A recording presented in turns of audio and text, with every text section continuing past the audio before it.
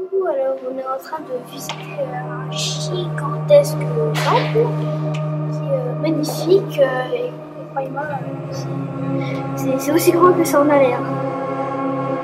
Voilà, on est en train de visiter, super chouette. Il y a d'autres du temple qui est encore très très joli. Voilà.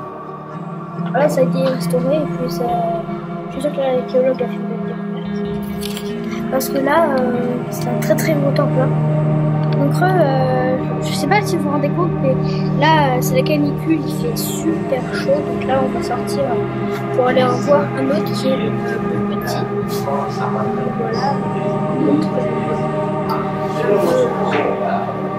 Voilà. On se retrouve encore, mais cette fois-ci les temples, ça va bien. C'était joli, bref. Mais là, on va se réfléchir un petit peu.